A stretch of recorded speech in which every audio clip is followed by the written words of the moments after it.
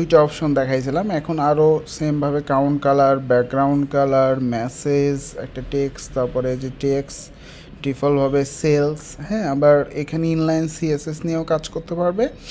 আবার এখানে product bottom tagline নিয়েও কাজ করতে পারবে। সো এই কয়েকটা অপশন আমরা রেখেছি পরবর্তীতে।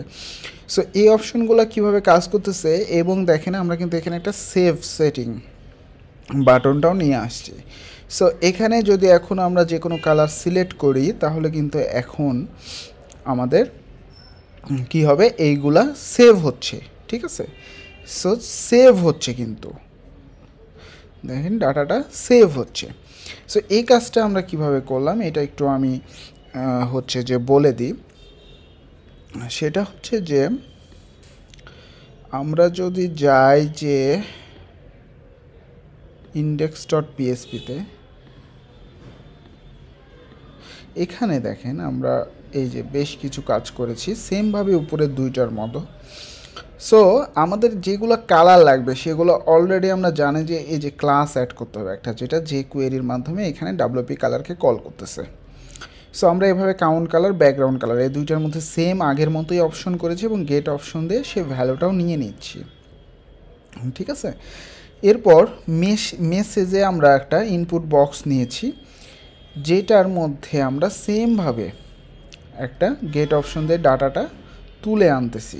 ঠিক আছে? ভ্যালু দিচ্ছি নেম দিচ্ছি, এই যে নেম সো এই নামটা কিন্তু আমরা এই যে এখানে রেজিস্টার সেটিংও করছি, এই যে দেখেন। ঠিক আছে? রেজিস্টার সেটিং এই রেজিস্টার সেটিং না করলে কিন্তু হবে না ওকে সো এই ভ্যালুগুলো করা ছিল না, আমি পরবর্তীতে এগুলো করেছি। সো এইগুলা আমাদের, আর এই চেকেডের কাজ হচ্ছে চেকড অবস্থায় এটা ভ্যালু আছে কি না সেটা জাস্ট চেক করা, ঠিক আছে? তারপর ইনলাইন সিএসএস এবং বটম ট্যাগ লাইন এই হচ্ছে আমাদের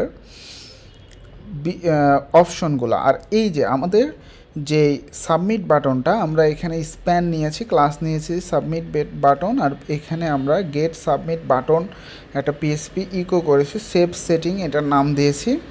এটার ক্লাস দিয়েছি, ঠিক আছে? এটা টাইপ দিয়েছি, ঠিক আছে? সো এই হচ্ছে আমাদের সাবমিট বাটনের কাজ।